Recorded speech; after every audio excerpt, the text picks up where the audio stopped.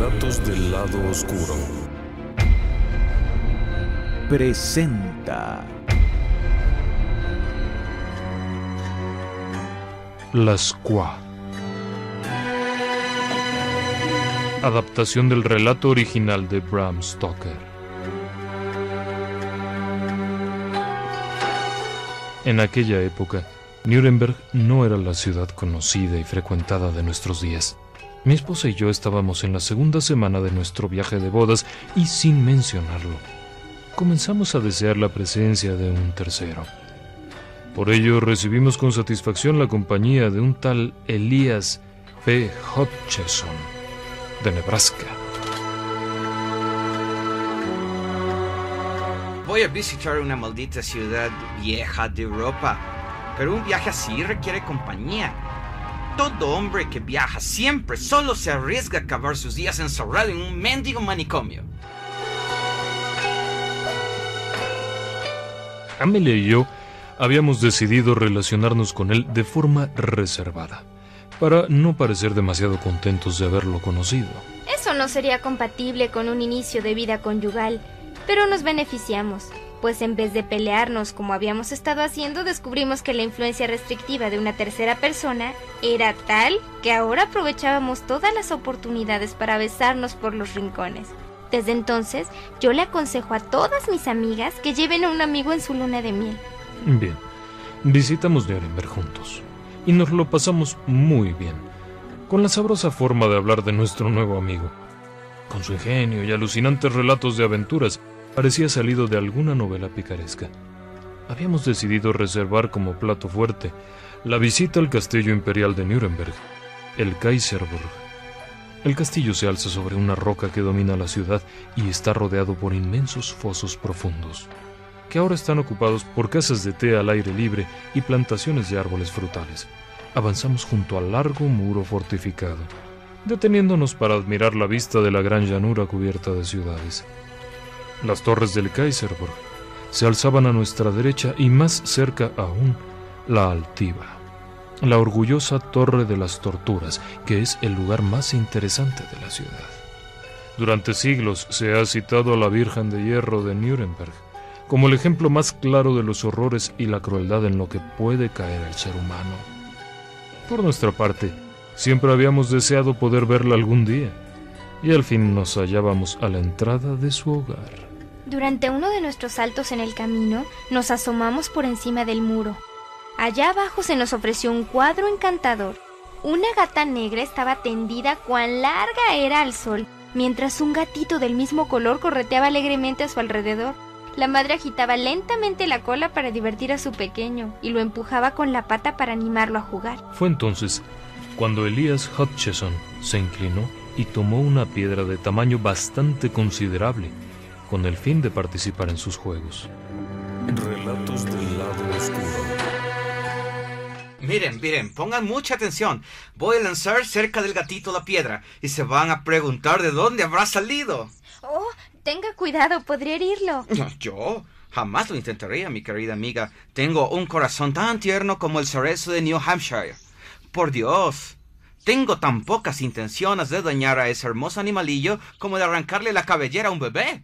Mira, podría apostar lo que quisiera, hasta sus medias de fantasía, que no voy a fallar.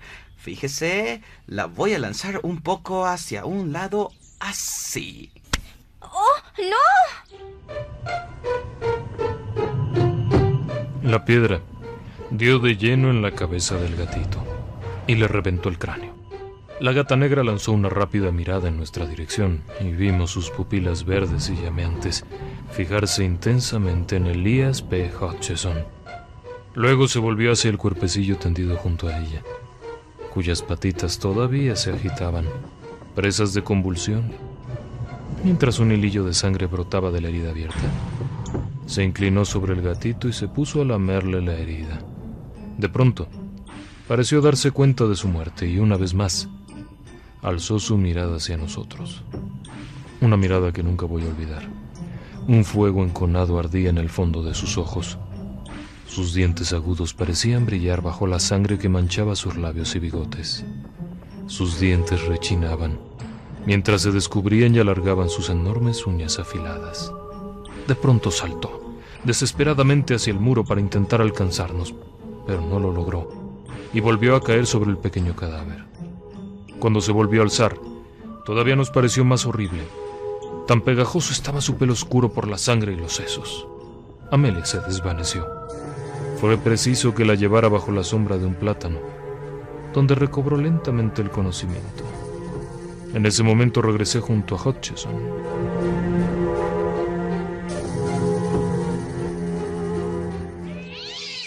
Vaya por Dios. No creo haber visto un aspecto más feroz. Ah, excepto en cierta ocasión en una india de la tribu de los apaches. Un squaw, como las llaman allá. Recuerdo cuando el squaw apache tuvo entre sus manos al que llamaban astillas, para vengarse de lo que éste le había hecho al niño de esa squaw, al que había raptado en una correría para vengarse a su vez de la forma en que los apaches habían aplicado la tortura del fuego a su propia madre. La india estuvo mirando lo que hacía el mestizo a su hijo, como si no quisiera olvidar un solo detalle. Persiguió a Astillas durante más de tres años, hasta que al final los bravos de su tribu lo atraparon y se la entregaron. Dicen que ningún hombre ha tardado tanto en morir bajo las torturas apaches. Llegué al campamento justo cuando Astillas exhalaba su último suspiro, y les aseguro que no les supo mal morir. Era un tipo demasiado duro, y yo nunca le había mostrado ninguna amistad después de lo del crío indio, pues había sido una gran canallada. Pero pagó su deuda hasta el último centavo. Lo único que pude hacer con él fue conservar un trozo de su piel, ya que lo habían despellejado totalmente. Y mandé a que me forraran una agenda con ella. Aquí está, en mi chaleco. Mientras Elías hablaba, la gata trataba de alcanzar frenéticamente la parte alta del muro, aunque siempre volvía a caer al fondo. No parecía importarle. Volvía a intentarlo. Hutchison era un buen muchacho. Nos habíamos fijado en la amabilidad con que trataba tanto a personas como animales, y parecía sinceramente entristecido por el estado de furor en que se veía la gata.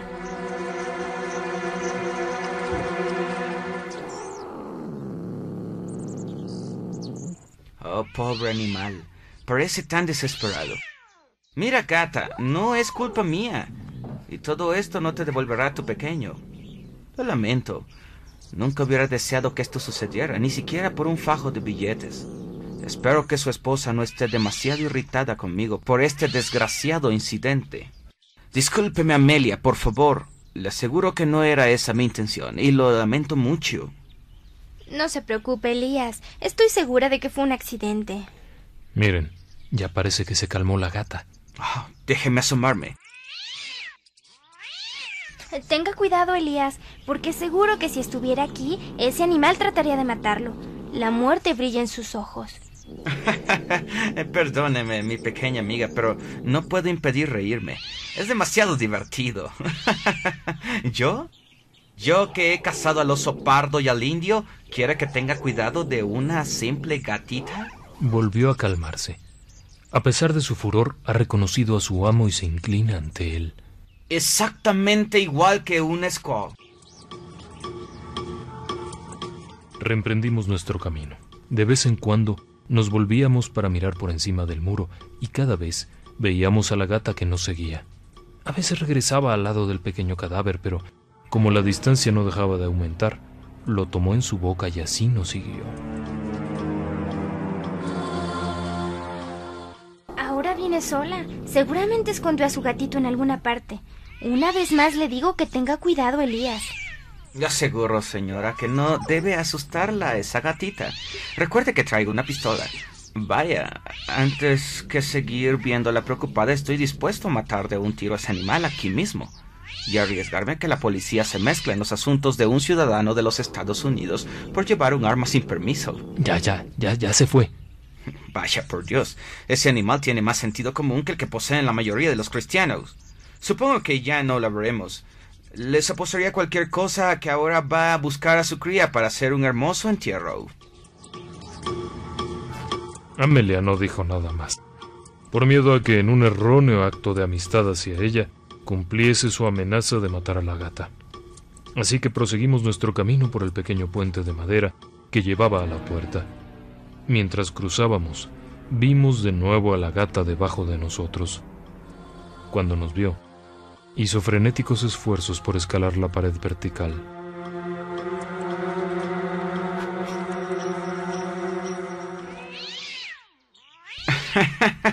Adiós, vieja amiga. Lamento haber herido tus sentimientos. Pero ya se te pasará el enfado. Hasta la otra.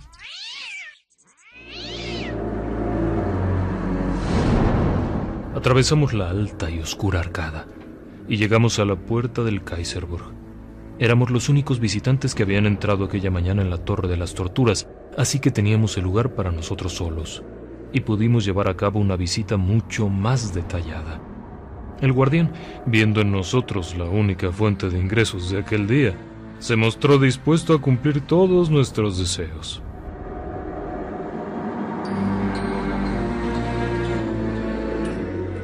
La Torre de las Torturas es un lugar opresivo.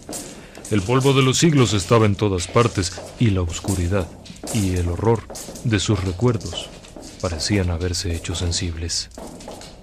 La cámara inferior, por la que entramos, estaba normalmente en tinieblas, y hasta la cálida luz que entraba por la puerta se perdía en el grosor de las paredes, y solo mostraba los burdos ladrillos cubiertos de polvo y teñidos aquí y allá por manchas oscuras que, si las paredes pudieran hablar, habrían contado terribles recuerdos de miedo y sufrimiento.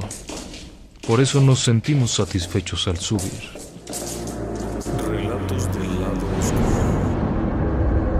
Cuando salimos, Amelia se apretó tan fuertemente contra mí que pude notar cómo palpitaba su corazón. No me sorprendió su temor, pues esa sala era aún más terrible.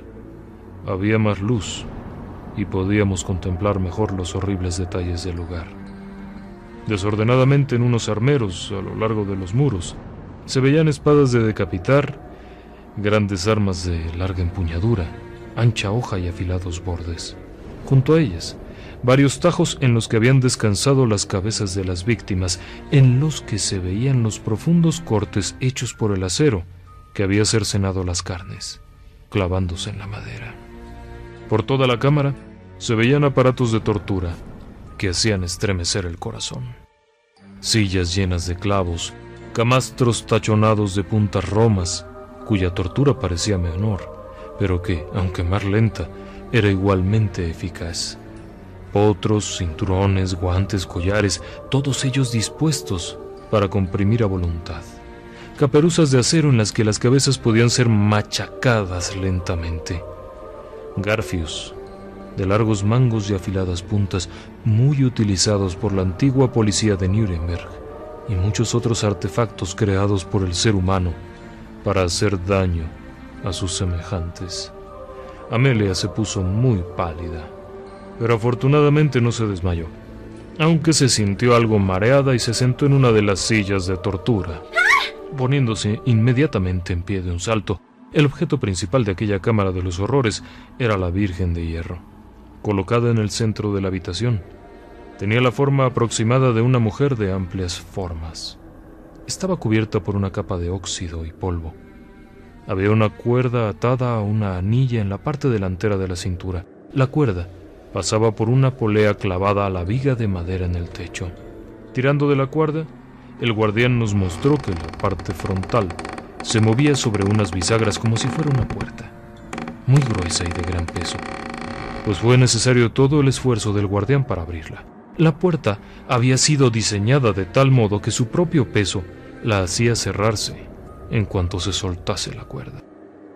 El interior estaba manchado por el óxido. Pero no solo por eso, pues el óxido producido por el tiempo no hubiera podido morder tan profundamente las paredes de hierro, y las señales interiores eran verdaderamente profundas. Cuando nos acercamos a mirar el interior de la puerta, nos dimos cuenta de su diabólica misión. Tenía largas púas, cuadradas, gruesas y afiladas, colocadas de tal forma que cuando se cerraba, las superiores atravesaban los ojos de la víctima y las inferiores su corazón y otras partes vitales. La visión fue demasiado para la pobre Amelia y esta vez cayó desmayada. Tuve que bajarla por la escalera de madera y llevarla hasta un banco del exterior, donde se recuperó. La impresión que sintió fue tan grande que mi primogénito tiene un lunar en el pecho que, según dice toda mi familia, representa a la Virgen de Nuremberg. Cuando regresamos a la cámara, nos encontramos a Hutchison frente a la Dama de Hierro. Bueno, creo que he estado aprendiendo algo mientras la señora se recuperaba. Me parece que estamos muy atrasados en nuestro lado del Gran Charco. Allá en las llanuras solíamos pensar que los indios nos daban lecciones en lo referente a cómo hacer que un hombre se sintiera mal. Pero me parece que sus defensores de la ley y el orden medievales lo superaban. Estaría bien que la Oficina de Asuntos Indios se hiciera de unos cuantos ejemplares de este juguetito para llevarlos a las reservas. Eso metería en cintura a los bravos y también a sus pos. Francamente, me gustaría entrar un momento en esa caja para ver lo que se siente. Oh, no, no, es demasiado terrible. Mi pequeña amiga, no hay nada demasiado terrible para una mente inquisitiva. Me he metido muchas veces en buenos líos. Pasé toda una noche en el interior del cadáver de un caballo mientras ardía toda la pradera del territorio de Montana. y en otra ocasión, dormí en el interior de un búfalo muerto, cuando los comanches estaban en el sendero de la guerra y no me quedaba otro remedio. Pasé dos días en un túnel derrumbado en la mina de oro de Billy Bronco, en New Mexico. No me he dejado perder ni una sola sensación extraña hasta ahora. Y no pienso perderme esta. Bueno, ya que no podemos disuadirlo, entonces apresúrese, mi amigo, y acabemos esto de una vez. De acuerdo, de acuerdo. Pero aún falta una pequeñita cosa. Los caballeros que se encontraron anteriormente en esta lata de sardinas no lo hicieron voluntariamente. Imagino que los debían de traer bien atados antes de dejar caer el telón. Deseo hacer bien las cosas, así que primero necesito que me aten me imagino que este buen hombre podrá encontrar un poco de cuerda o de cadena para ello, ¿no es así, jefe?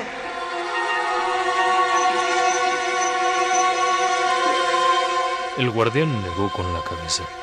Sin embargo, su negativa era un puro formulismo que buscaba una mayor propina.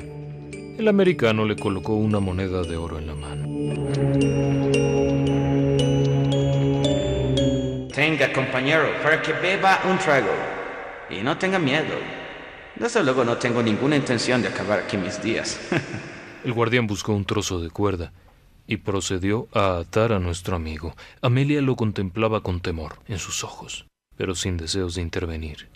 Elías parecía estar disfrutando del momento. Vaya, vaya, vaya. vaya, vaya. Esta Eva debió ser hecha de la costilla de un enano. no hay en ella sitio para un ciudadano adulto de los Estados Unidos. En el territorio de Idaho acostumbramos a hacer los ataúdes más grandes. Ah, ahora, señor juez, puede comenzar a dejar caer la puerta sobre mí. Quiero sentir el mismo placer que los otros muchachos cuando las púas empezaban a moverse hacia sus ojos. ¡Oh, no! ¡No! Es demasiado terrible. No deseo verlo. No puedo. No puedo. Oiga, amigo, ¿por qué no se lleva a la señora a dar un paseo? Por nada del mundo querría herir sus sentimientos una vez más, pero ahora que estoy aquí, tras atravesar 12.000 kilómetros, me costaría mucho dejar de sentir la sensación que ando buscando. No todos los días tiene un hombre la oportunidad de ser enlatado. El juez y yo arreglaremos este asunto en un momento, y cuando vuelva, todos nos reiremos de ello. Una vez más triunfó la curiosidad, y Amelia se quedó allí, aferrada a mi brazo, estremeciéndose mientras el guardián comenzaba a soltar la cuerda que sujetaba la puerta de hierro. El rostro de Hutcheson estaba radiante mientras sus ojos seguían el movimiento de las púas. Bueno, no creo haberme sentido tan dichoso desde que salí de New York excepto una pelea que tuve con un marino francés, y eso que tampoco fue gran cosa. No había sentido que me complaciera realmente en este podrido continente en el que no hay ni osos ni indios, y en el que los hombres van desarmados. No se dé prisa, señor juez. Deseo un buen trabajo por mi dinero.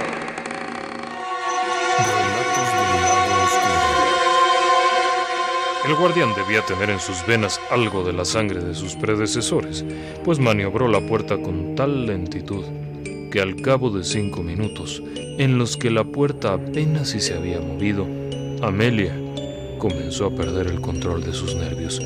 Vi cómo sus labios perdían el color y noté que su presión sobre mi brazo disminuía. Miré a mi alrededor para buscar un lugar donde depositarla y cuando la contemplé de nuevo, vi que su mirada estaba clavada en un lugar al lado de la Virgen.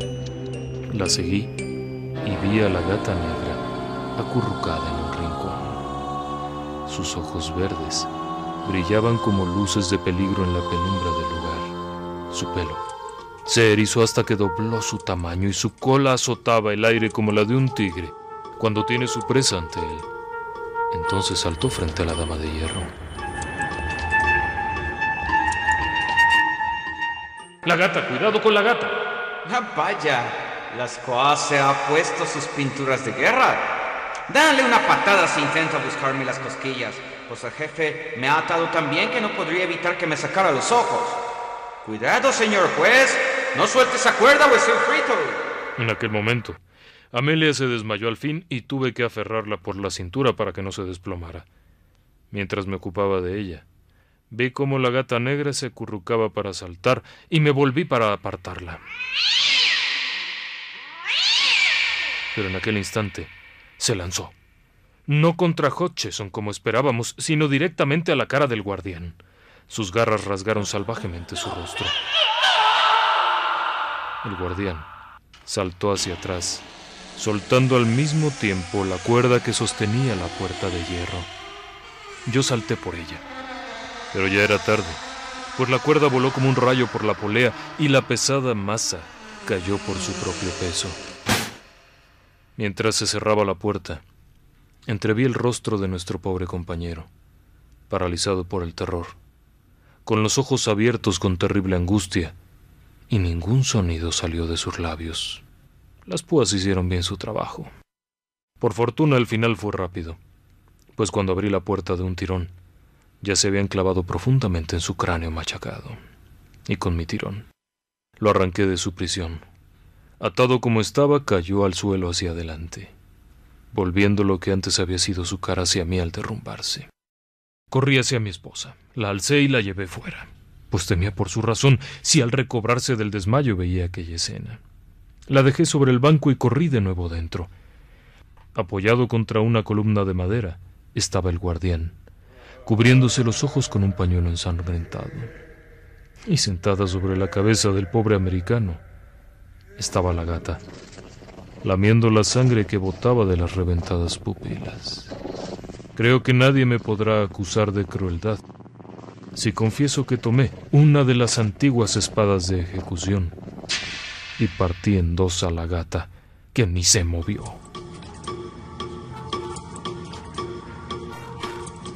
La Squaw. El relato La Squaw de Bram Stoker que hoy escuchamos fue escrito en 1893. Se dice que esta historia de Stoker es la más influida por Edgar Allan Poe al retomar el tema de un gato negro que responde a la agresión. La Squaw aborda varios temas macabros como la venganza de los animales, la barbarie de los apaches y los instrumentos de tortura como la dama de hierro, teniendo como telón de fondo el dolor y la ira de una madre a quien le ha sido arrebatado un hijo. Dos años después de la publicación de la Squaw, el escritor galés Arthur Machen retomó el tema de la dama de hierro en el relato Los tres impostores. Con relatos como la Squaw, Stoker sirvió de puente entre la literatura de terror del siglo XIX y la moderna literatura de horror sobrenatural impulsada por Lovecraft y sus seguidores en las primeras décadas del siglo XX. La doncella de hierro fue un instrumento supuestamente utilizado para la tortura y ejecución. Posiblemente la primera doncella de hierro fue construida en Nuremberg, Alemania. Al parecer la primera persona ejecutada por este medio fue un falsificador de monedas el 14 de agosto de 1515, aunque la veracidad de este hecho se haya en entredicho, ya que se piensa que Johann Philipp Sievenkis creó esta historia ficticia. La Dama de Hierro de Nuremberg fue en realidad construida en el siglo XIX como resultado de una mala interpretación de la capa de la infamia. Un dispositivo hecho de madera y latón, pero sin pinchos, que no dañaba el cuerpo y que era utilizado como castigo público para cazadores furtivos y prostitutas, quienes tenían que llevarlo en público durante cierto tiempo. La doncella de hierro que se conservaba en el castillo de Nuremberg y que aparece en el relato La Squaw fue destruida en 1944 durante los bombardeos de la Segunda Guerra Mundial. La doncella de hierro de Nuremberg tenía la forma de un ser humano con una cara que pretendía ser la de la Virgen María y un cuerpo formado por dos puertas que lo asemejaban a un ataúd. Medía más de dos metros de alto y casi uno de ancho. Se cuenta que la persona condenada tenía que pasar a través de siete salas con siete candados antes de su ejecución. Por fuera la doncella parecía inofensiva, pero en su interior había clavos, cuyo fin no era matar rápido, sino torturar despacio para que la víctima muriera por desangramiento y o asfixia. Los clavos punzantes y oxidados estaban diseñados para ensartarse en la víctima, esquivando los órganos vitales en cuanto la doble puerta se cerrara. Esto permitía que la persona siguiese viva y en posición vertical. De este modo, la víctima quedaba en un espacio pequeño que elevaba su nivel de sufrimiento. Las puertas de hierro podían ser abiertas independientemente. Esto servía para comprobar que la víctima estaba sufriendo y evitar que se escapara. Las puertas tenían un grosor considerable para asegurarse de que los gritos de dolor no pudieran ser escuchados. Aunque no ha podido ser comprobado, algunos historiadores afirman que los clavos en la parte interior de la puerta podían ser recolocados o cambiados de sitio, dependiendo de lo que se requiriera según la fisionomía de la persona castigada y su crimen cometido. A pesar del terrible uso que sugiere este artefacto y de su similitud con muchos métodos empleados por la Inquisición, se duda de que realmente se haya utilizado en procesos judiciales o ejecuciones. Lo que se sabe es que a partir del siglo XIX se hicieron réplicas de la doncella de hierro de manera particular por coleccionistas de lo macabro. Wolfgang Child, un profesor de Historia de Derecho Penal y Filosofía del Derecho de la Universidad de Bielefeld, plantea que las damas de hierro que conocemos son ensambles de elementos de diversos instrumentos de tortura encontrados en museos con el fin de crear objetos espectaculares y exhibidos de manera comercial.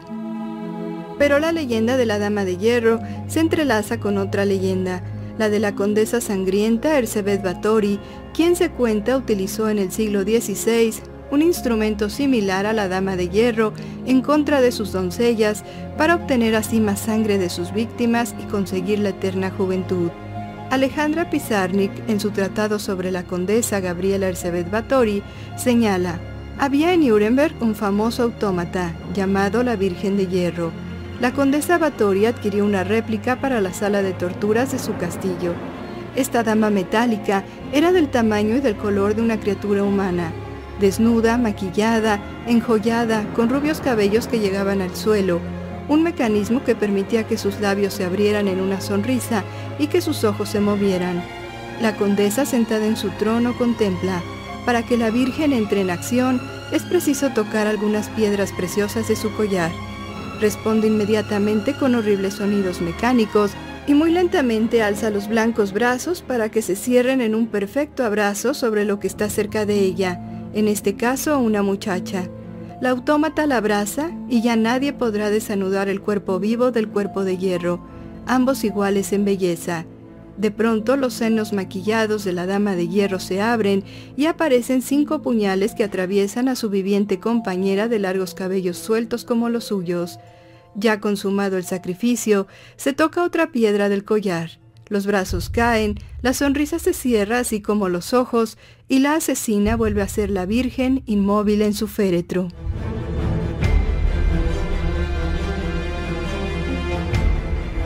Relatos del lado oscuro. Guión y producción, Tania Sabugal.